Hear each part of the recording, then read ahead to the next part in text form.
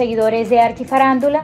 Les comento que Shakira no deja de ser noticia este año, pues en su vida han pasado diferentes situaciones que la tienen bajo el ojo público, como su separación con el exfutbolista Gerard Piqué.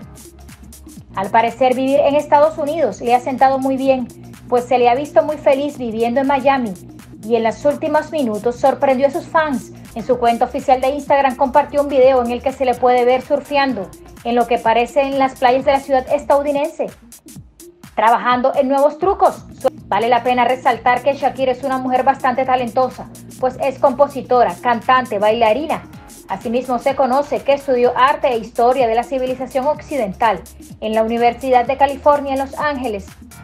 Además, en el año 2020 mostró su título en filosofía de la Universidad de Pensilvania.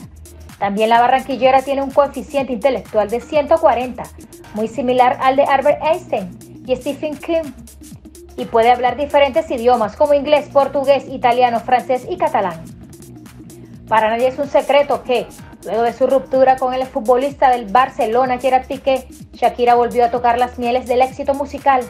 Prueba de ello son sus más recientes canciones, Te felicito, Monotonía, Music Section número 53 y TQG, todas ellas dedicadas a las diferentes etapas que vivió tras su separación.